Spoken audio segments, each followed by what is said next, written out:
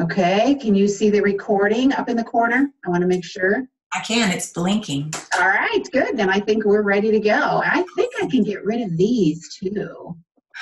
Yeah, that'll make our recording a little cleaner. So. Oh, that's a good point. That's a good point. All right, so um, we have some things to share. Dana Lucanis is the one that is on with me from Texas. So welcome, Dana. Thank you. Thank you. Thank you. Get to hear our voices. And I didn't mute anybody, but so if you do have any noise, mute. It sounds pretty quiet right now. So, but uh, we just thought that we would cover this topic. We did actually do this at reunion last year. Uh, mm-hmm. but there was some great response from it. And I've had a number of leaders that have been asking me and questioning about just balance this time of year.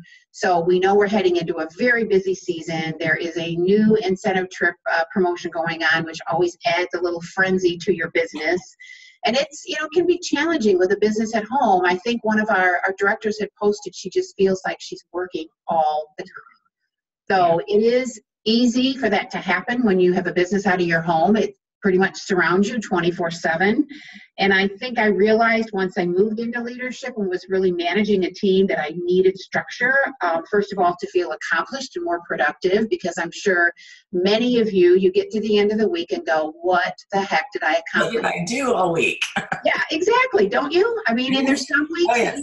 Feel more productive, and then there's some weeks that you feel like that was a complete waste of a week. Seriously. Yes. Yes. So we hope that we can share some strategies tonight and things that both of us have learned that really may, may help you if you're struggling with either feeling like you're working all the time or you're feeling unproductive at the end of each week. Um, and then I hope through some of these things that we'll share that'll give you an opportunity to make some changes yourself. So I'm going to start, Dana. Ahead. All right. I always hate when this happens because sometimes the PowerPoint doesn't go. Oh, All right. So okay. Go ahead, Dina. So, okay, so um, you guys, a lot of you know that I used to be in the hotel business, and so I had structure. I had really good structure. So, when I started doing Pink Zebra 100% of the time, I found that I was all over the place. And, like Connie said, by the end of the week, I mean, my husband would come home and be like, "Well, what'd you do?" And I'm like, "I don't, I don't even know." I mean, I feel like I'm just going in circles. So, um, it was real. I realized really early on that it was going to be very important for me to find some structure in my own day. Um, I actually invested in a trainer, um, a life coach, whatever you call them these days, but I invested in someone to actually walk through this with me. And um, uh, but it's it's something that I have found is so simple to do, and so that's why I told Connie, let's just share all of this with everybody because there's no sense in everybody having to go out and get a coach or something like this. but it definitely can help your days run better and um, you can actually get into a better routine. Um, so the, this slide here, uh, talking about a daily routine, is um, the first thing that you want to do when you get up. I mean, when when I wake up in the morning, I'm not like, yes, let's take on the day. I mean, that's not how I wake up. I wake up going, hey, here we go, you know. So the first thing I have to do is get myself in the right mindset. Um, that's the most important thing for me to get my day going. And so I get my coffee and I have a little quiet time, whether it's um, journaling or reading or listening to maybe um, a motivational podcast, um, whatever it is for you. But I think it's just really important to have a little bit of quiet time to kind of get your day started and get your mind in the right place. Um, and then of course um, exercise. I feel like this slide is in the wrong spot. But anyway um, so i do all of those things and then i get moving. So once i've gotten my quiet time down that's when i get moving. Whether it's yoga stretching i used to do kickboxing. I don't so much do that anymore but i still make sure that i get moving every morning get the blood flowing um, because when you when your blood is flowing, you're feeling better, and you're able to just be more productive. I mean, I don't know about you, Connie. I know you like to exercise, so I I know that's a, a fact. In fact, you exercise in the morning, don't you? I do. I do. Yeah. I'm a morning person, so I roll out of bed, and that's what I do. The very first thing. If I give myself any time to think about it, it won't happen. So absolutely, absolutely. yeah, I, I actually have to do it in the morning as well. Um, but again, it just gets the blood flowing, and you start feeling good. Um, and and so you know you can really kind of get your get yourself off to a great start. Okay, so I want to mention one thing that you said, and I know I don't think it's in any of our content, but you mentioned a podcast. Yes. So what I just wanted to point out with that is that even as a leader, and I don't care if you've been leading for a month or you've been leading for five years, um, education can be your greatest ally, um, and it helps you to just expand your horizons, get better ideas, feel. I think as a leader, sometimes you feel a little drained. Yes, absolutely. Yeah, and it will put that back in place for you. Mm-hmm. So um, I really think that's something really great to start your day with is a podcast. And I started honestly, Jessica got me going on podcasts in the morning because I walk a lot. Yeah. So I I was always listening to music, and now I've started to listen to podcasts instead. And it, it is kind of amazing that I can take that time in the morning to just fill my brain a little bit and just give myself some more, whether it's motivation or ideas. I mean, I think it's really great for all of you. So I agree 100%. And because we are, I mean, we are our own motivators. When you have your own business, yeah, um, it, it is up to us. And so, I mean, I we can give you a whole list of really good motivational speakers if you're not familiar with any, because there are some fantastic ones out there. yeah. and so it, it just gives you that boost that you need to get Yeah, that's-. That's really good, Dana. And I think just to mention that, I'm glad you said that because if you guys in the comments, um, you know, whether you do it on the on the post or whatever, to let us know if you need that kind of stuff because there is some really. I mean, I've got a library of books that I still look at. Some of them I've had for 15 years. yes, And I still pull them out. So um, we're fortunate now that we've got such so much audio technology available to us that wasn't as big of a deal before. Um, but I still love a great book and love to highlight and go back to things that I've you know that I've uh, marked for Me too. whatever reason. So Me too. I kind of alternate. Some days I will do the podcast, and other days I like to just read. So Yeah, really depends Okay. on you know what you like to do. Mhm. Um, so, but the one of the most important things that I have learned over this Mm-hmm. whole journey is that my day, if I start off my day, which a lot of us do, we roll over and before we even get out of bed, we pick up that phone and we start looking at social media. Um, I am guilty every now and then. I'll fall back into that routine, but by golly, it, I know like it it hits me square in the head because it's like, why did you do this? You know not to do this. So the biggest thing I say is do not pick up your phone before you get out of that bed and start scrolling through social media because it can totally do a number on you. I don't know how many people, maybe it's just me, but I can read something on Facebook and it can absolutely take me down this path in my head that I'm I'm mad or I'm, I get upset about something and it's like oh my gosh what am I doing? This is not how I want to start my day. So I definitely have learned that I do not look at the social media first thing in the morning. In fact I do not do it. And now I will say I will glance at my phone to make sure I don't have any text messages or if I have a message on Messenger, you know, I will glance just to make sure that it's not anything like urgent, urgent. But nine times out of 10, it is not. I put my phone back down and I get back to my morning routine until my mind is in the right place to where I can actually attack social media head on with the right frame of mind. Good. I think I think a key there too is the intentionality because if you are working this business, of course, from your home as you all are, and you do not, and I'm not saying you have to have office hours, but to have some idea what you are willing to invest in it in terms of time. So whether you want to put a couple hours in a day, whether you want to do four or five hours a day, and if you waste one of those hours, which can happen so quickly by going through Facebook, then you really have lost almost 25% of your productive time on something that isn't moving your business forward at all unless you're really you know running a facebook party or doing something like that that's a completely different thing Right, but right. anyway so go ahead Right. But still, like, I mean, the picture is speaks volumes.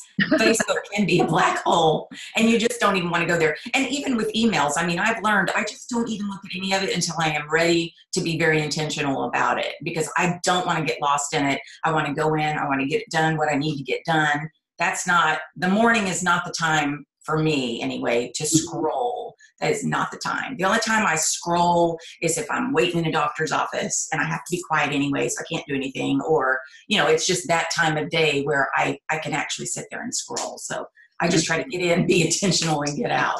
good good good setting a timer is not a bad idea either you know if you No, want to not at all. it, It's uh, 20 minutes or 25 minutes whatever it is set a timer and you have to commit to yourself that when that timer goes off, you stop, no matter what. And I'm going to also say, so I know so many people that um, as soon as something's posted in a group, they're immediately responding to it. And it's probably because they have notifications turned on. Right. I have all my notifications off. I have to, like I said, be intentional and go in and look to see what's happening. Now, I may miss some stuff because it scrolls by quickly, but I'm sure somebody's going to fill me in later, so it's okay. You know what I mean? Always come back around to you, no question. exactly. It'll be there eventually. All right, can we advance? Okay. Okay, so this is what I have put into place. I've been doing it now for a couple of years, and it has been such an asset for me with my business. It's fun and it keeps me on track. So I do theme days. Um, for example, Monday is Motivational Monday. So that can be that can mean anything. It can mean that I'm going to do research on things that I can do throughout the week that bring motivation to the team or motivation to me. Um, it can be that I'm gonna. That's the day I'm going to plan out. You know what I'm going to do on my team live stream or my team call on the next night um, anything to do with motivation. And I actually block off a period of time on my calendar for that day to focus on those things. What I love about this is if it's Thursday and I'm working on my marketing information, and all of a sudden I'm like, somebody just told me about a great motivational speaker, I got to check him out. Instead of having that squirrel moment and getting off of what I'm doing, I go to Monday, make a note, check out Brendon Burchard, and I get right back to what I'm doing. Because what you don't want to have happen is when you lose track of what you're doing, focus on something else, it takes you twice as long to get back to what you were doing. I hear it crackling. Yeah, yeah, you know, I just I see Rhonda Lane's name popping up when that's happening. So she might be on a cell phone. So if it is Rhonda, just mute yourself and it'll help because I can see her name popping up talking. So sorry, go ahead. Okay. Um, anyway, so it's yeah, it's still Jenny. It's her again, Rhonda Lane.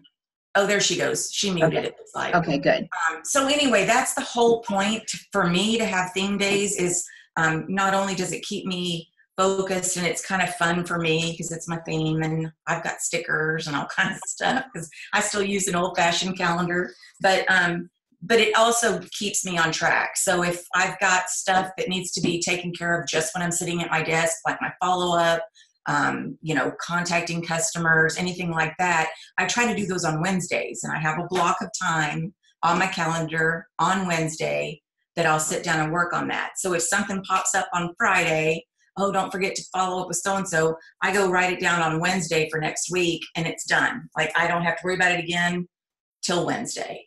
So um so that's what I, I like to do are the are the theme days. Okay. So, and I, I did the same thing. I mean, it was something I learned from I don't know whom um, at one point in my career as a leader.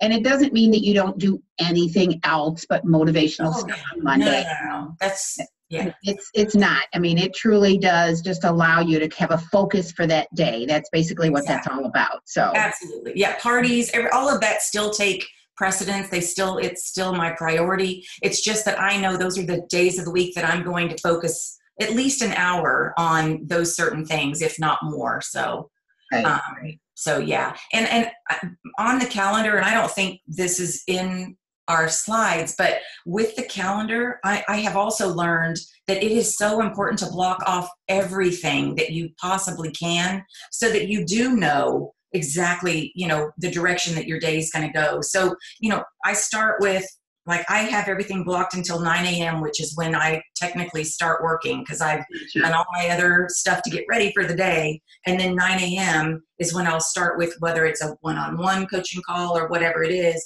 And i literally time block everything so that i get everything done in the day that i want to get done.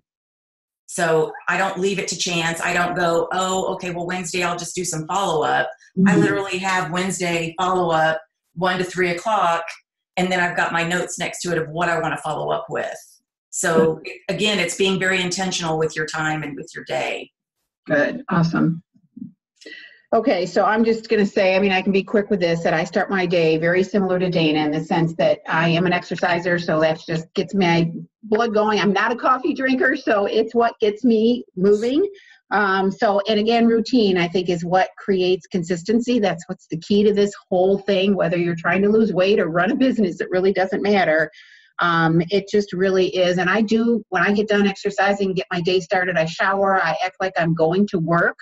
Um, and I did that all through my working career because I didn't want to be making phone calls in my pajamas. As luxury as that can be, I felt more like a business person when I was ready for the day. So um, it's kind of how I get things moving. So I do feel like I learned a few things along the way in the field that really helped me to stay in the game. I mean, I spent 21 years in the field doing what you guys do, and I don't think I would have ever survived it if I would not have come up with some strategies to really help me keep my sanity and certainly keep my balance in life.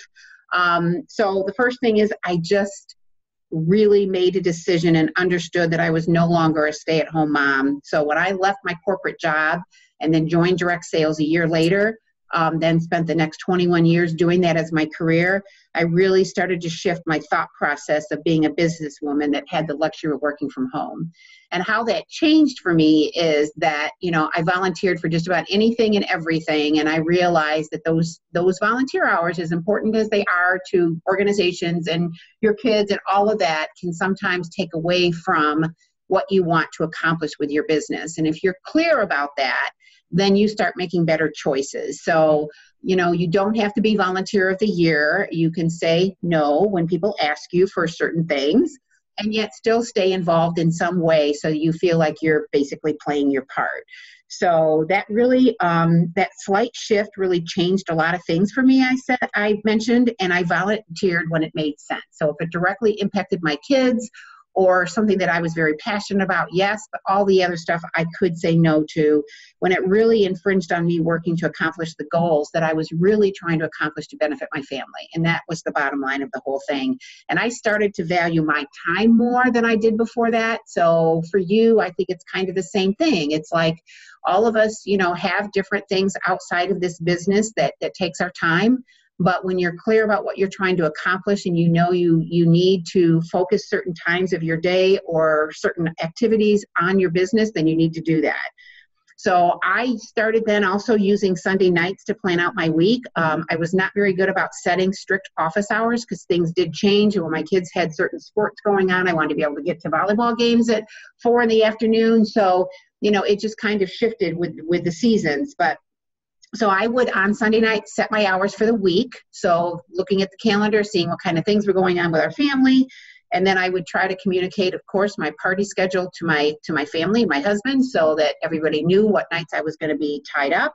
Um, and then I, I think I was pretty good about keeping goals in front of them just to let them know what was coming up. So if I was going for a trip incentive or something like that, they were very aware of that um, so that they could support and they could understand when there were certain times of the year that I was busier than others. And so, you know, I needed to get their support in order to make this business work. And so, the other thing, theme days, I had the same strategy as Dana. Uh, mine were slightly different than that.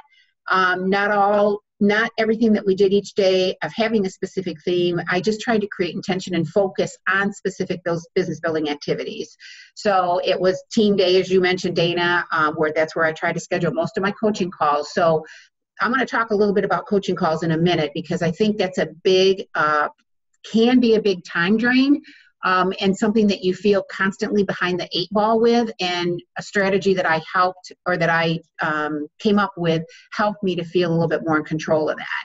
So and then my host coaching days of course and my prospecting days i had definite days where i focused 100% on business prospects and on hosting prospects. So I would review my calendar three weeks out. That's always been my routine. Look to see what's happening through the road and what do I need to focus on uh, during those prospecting days to get my goals basically met. So that was plain and simple.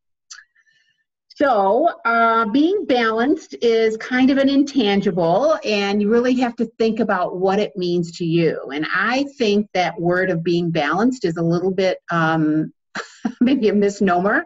Mm-hmm. Um, in this kind of business, I learned to get a little comfortable with chaos and knowing that there were always things that were not going to be done.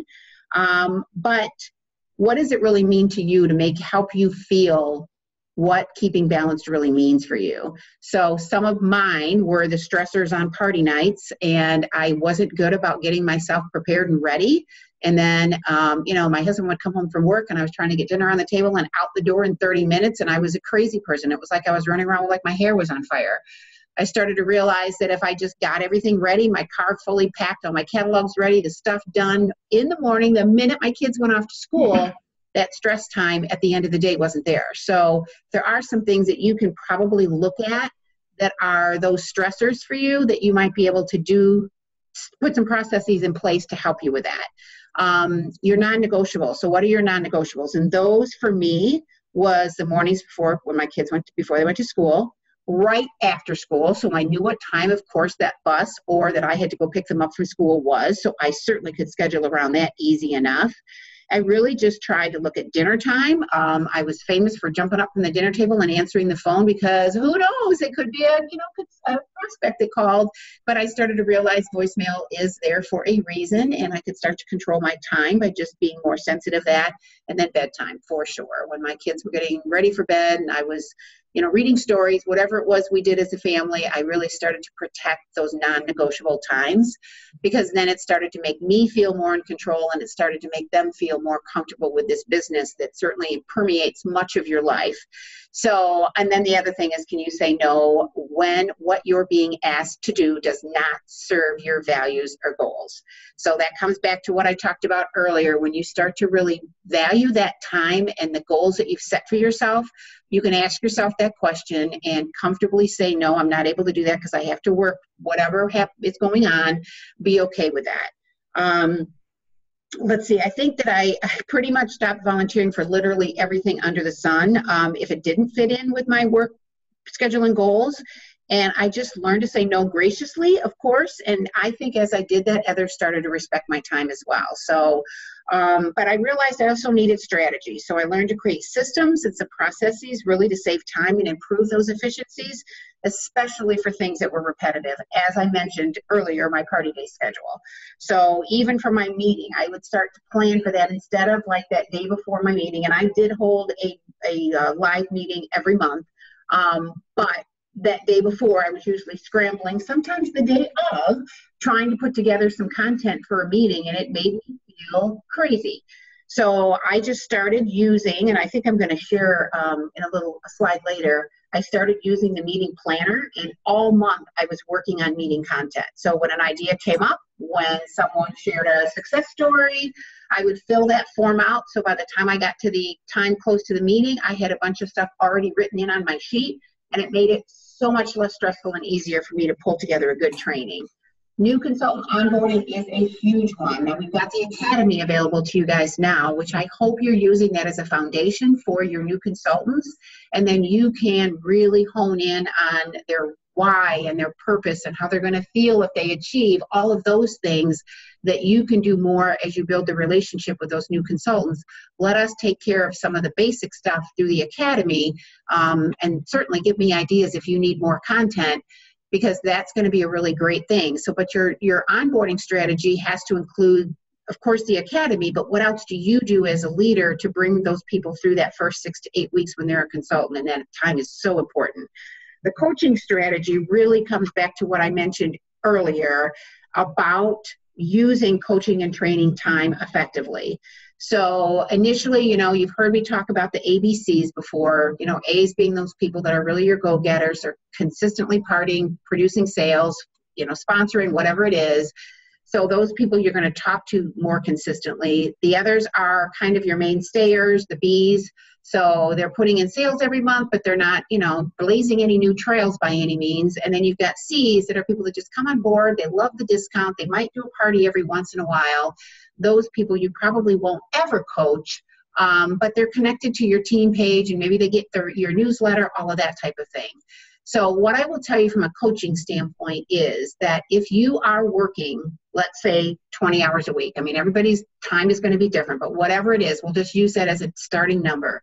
Instead of me thinking about all these people I had to coach that I really wanted to work with and try to fit them into that time that I had, I started working from the opposite end. And that really was setting aside how many hours a week am I willing to give to coaching. So whether it's two hours or four hours or five hours, whatever, then I started to think about strategies that I could use to try to get as many people in those hours that I set aside specifically for coaching as possible.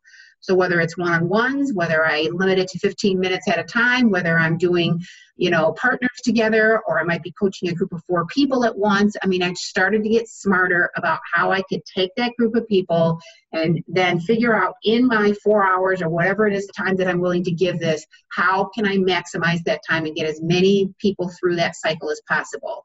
Every, you know, doing coaching every other week instead of every week. I mean, there's lots of different ideas. So if you need some ideas around that, please let me know and I'll be happy to share. Okay, Dana, it's back to you.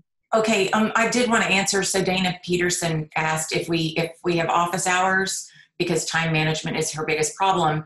Um, and kind of back to what Connie was saying, you know, you determine how many days or how many hours in a day that you're going to work and that that's the time frame that you make sure you make the most of those hours so if you've got you know you had a party and you've got follow up to do and all of this that's that's a big priority. Or if you're working with your team those are priorities. So you make sure that you you know fit those in in those time slots. So it's it's really based on the hours that you want to give to the business. Um, i personally don't have office hours but i learned also early on that I uh, I teach my team how to depend on me or when to depend on me by my actions. So in the beginning, when someone would text me at 11 o'clock at night, even though I was half asleep, I would roll over, I would pick up my phone, I would give them the answer, and I would put it back down. Well, I taught them they don't have to go look for the answer because Dana will just give it to them at 11 o'clock at night or whatever time it is. So I learned that that was that was just I mean that's exhausting. Nobody wants to do that, and we're not teaching anybody you know where to go find the answers because there's so many resources. Um, so I I just stopped. I mean I got to the point where it was like nine o'clock. I stopped answering my phone. That was me. Some people are night owls. You can keep on going later and that's great. But i can't do that. I get up too early in the morning. So i just stopped. And it's really funny now because they joke and make fun of me that i go to bed too early which i don't really go to bed that early but i'm okay if that's what they think because i'm not getting text messages or, or messages you know at 11 and 12 o'clock at night anymore so they will do whatever you train them to do you know? Absolutely. The funny thing about that is, is that I used to say that if you want people not to want your job, then keep making yourself available 24 seven.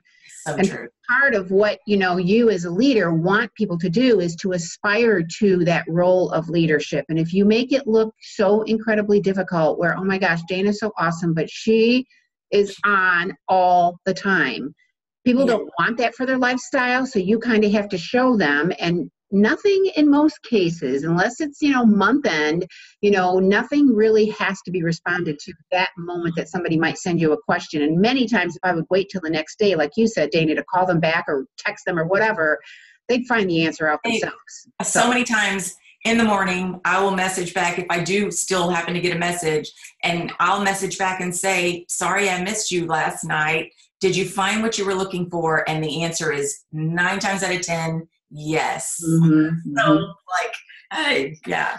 So yeah just don't you know just you are in control of, of your schedule. So yeah. absolutely. that control. Don't give it up. We're, we're giving you permission to Right. control your time. So Right, exactly exactly. Okay. Um, so the next one really we we talked a little bit about um, team meetings. And team meetings i feel like they're they're so important because um, you really create that sense of community when you bring everybody together. Um, i know that um, it doesn't matter how big the meeting is if it's you know four people show up or 24 people show up the fact of the matter is that you're all coming together um, and you're um, you're creating that sense of, of community and, and people bond. These pictures it's really funny to me because most of the people in these pictures are still consultants some of them just do it you know as a hobby or whatnot but they're still with us all these years later because of that sense of community. They're Mhm. in it and they don't want to let that go. So i mean i love that part.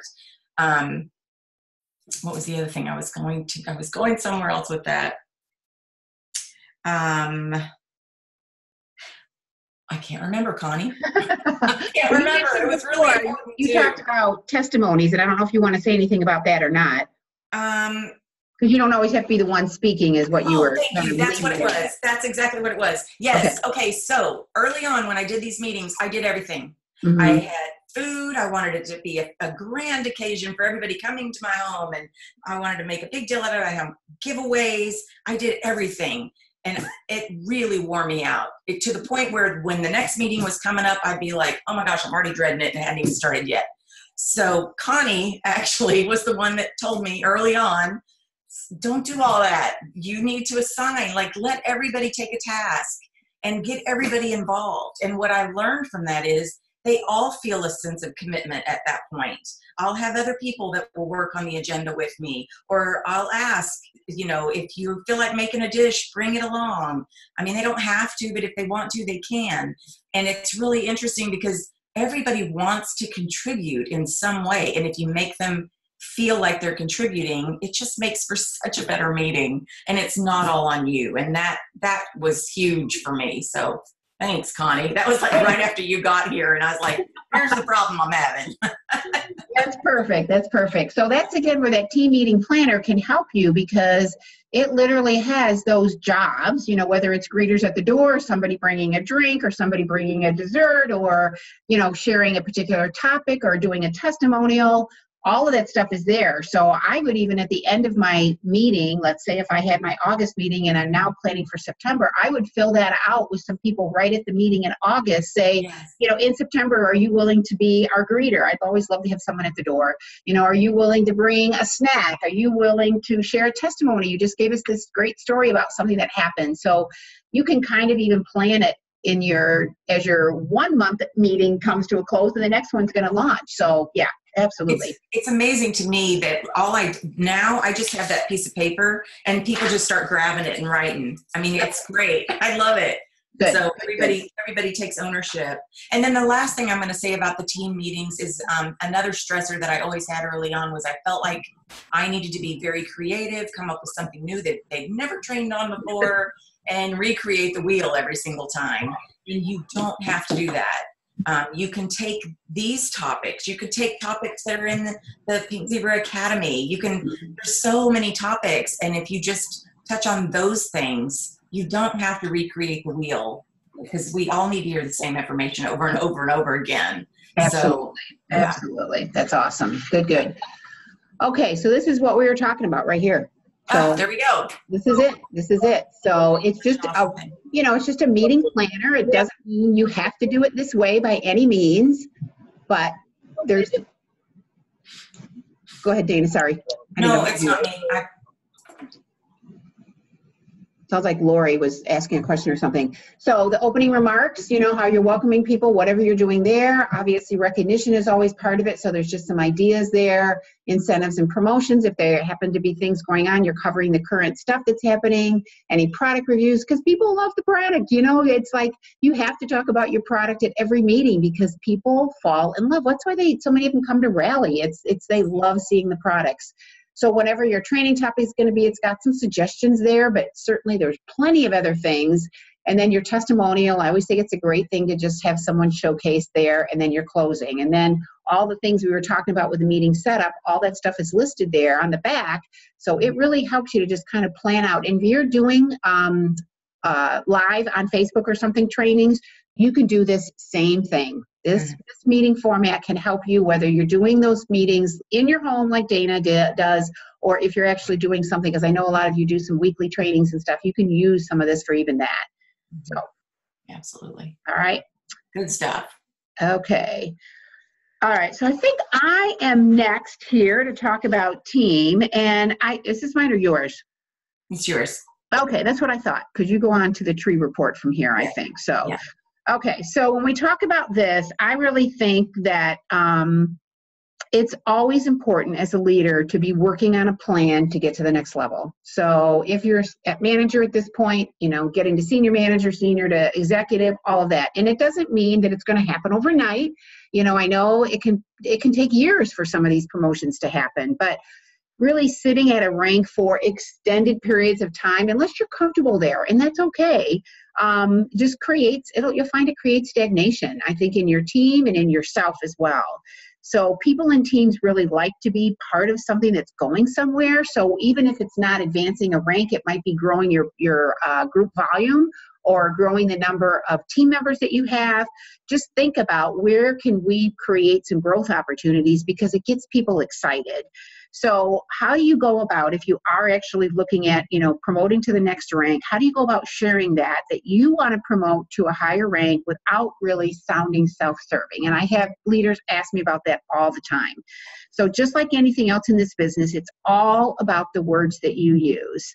So if I was going to if I was at, you know, senior manager at this point and I was going for executive manager, how can I really get my team on board? One thing I will tell you is you remove that I completely. So this is about a team goal. It's about moving our team to an executive manager team. It always, all your language is really team focused and not I focused, of course, because you can't promote these ranks without other people doing something. This is not an, you know, a uh, singular personal goal. It becomes a team effort. So everything that, that is spoken in, you know, we're working towards becoming. So it's all about we, it's all about team, and then share what it's going to take and ask for those that might be interested in just being on this forward moving train that you've got going on. And you'll start to, I think, if you just shift your language slightly, and really come across as a team effort, I think it really changes basically how people want to get involved and feel that they're part of this whole forward moving.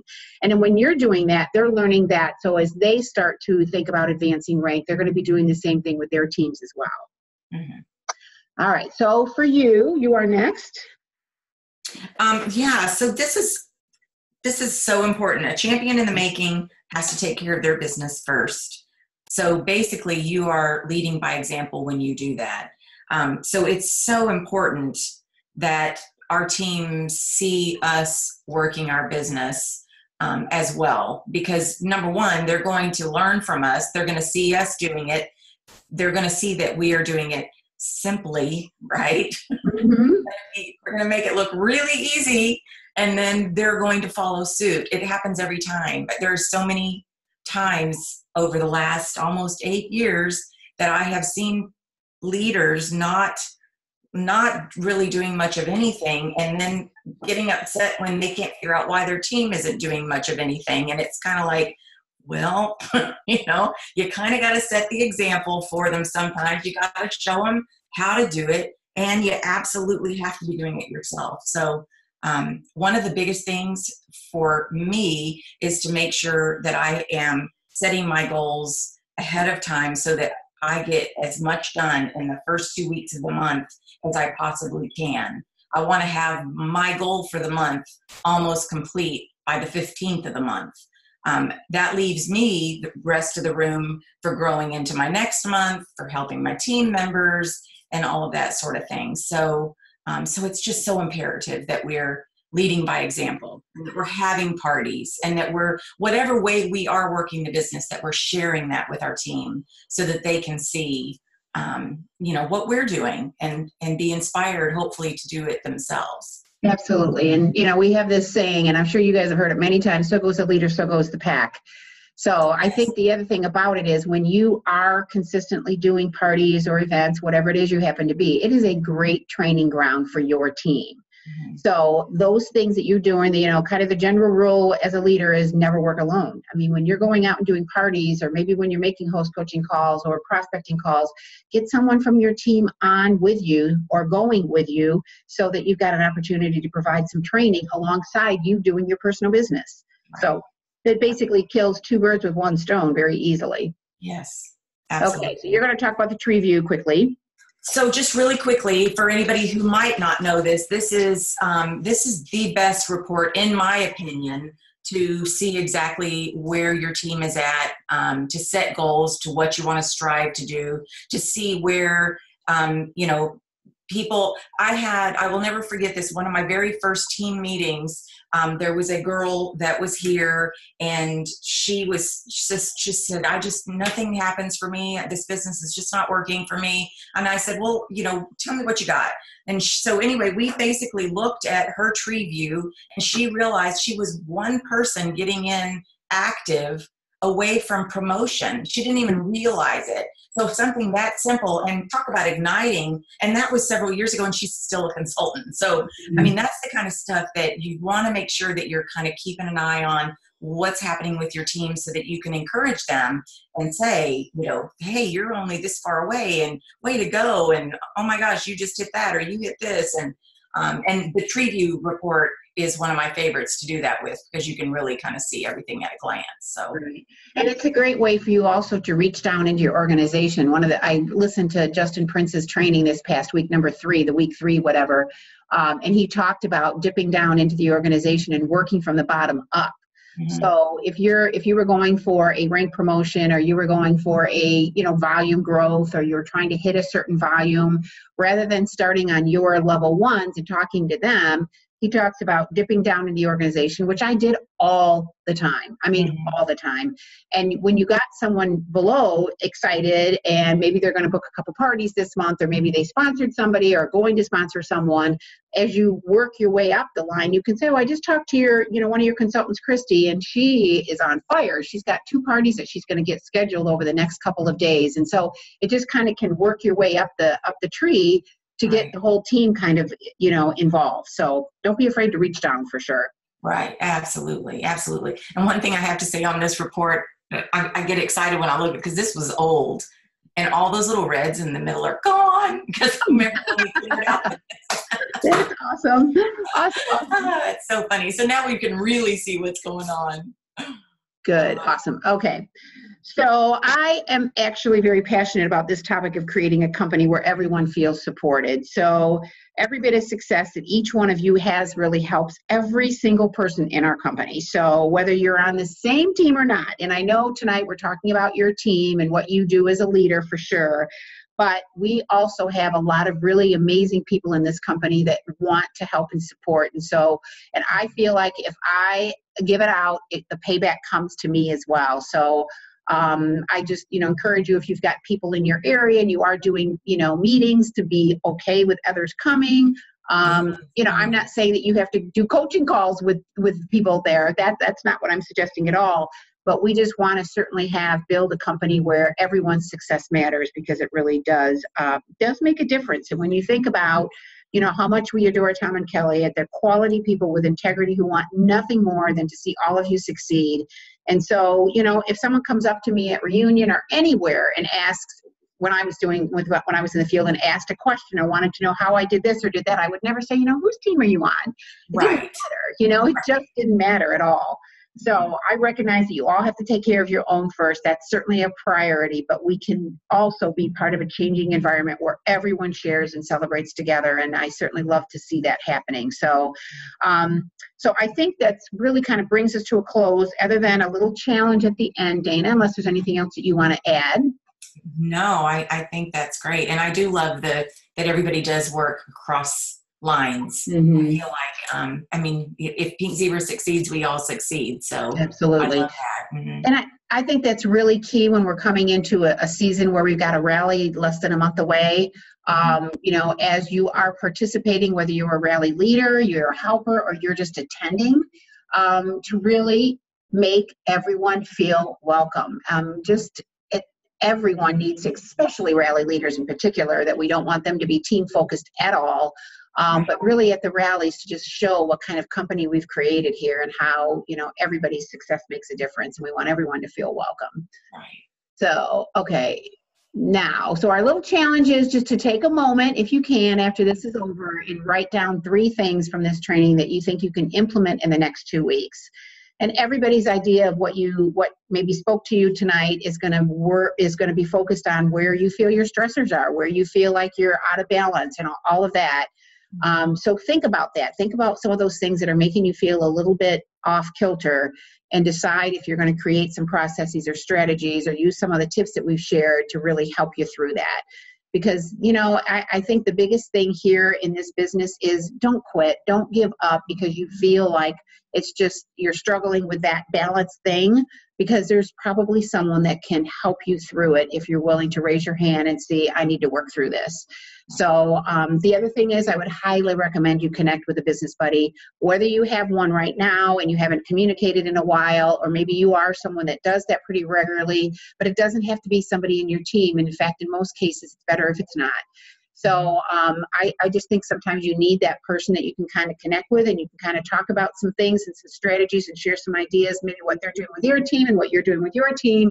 Um, but I think we all need a little bit of an outlet. So, you know, I agree. Yeah. So Dana, yeah, you know, you, we even do that sometimes. I mean, you yes. just, you know, and if if you're a leader, the, the rule is never dump down. You always go up. So if you're someone like Dana who doesn't have a person above and, and truly in that sense, that's what I'm here for. So you know, it's like I can let you have a pity party for a little while, and then you got to be over it, and you got to move on and figure out how you're gonna, you know, how you're gonna fix whatever the issue is that's struggling or that's frustrating you. So, we hope this was helpful to you guys tonight. I'm excited about what's going on over this next month. We have so many new things happening, and Rally coming right around the corner, and there's some really incredible things that are going to be announced there.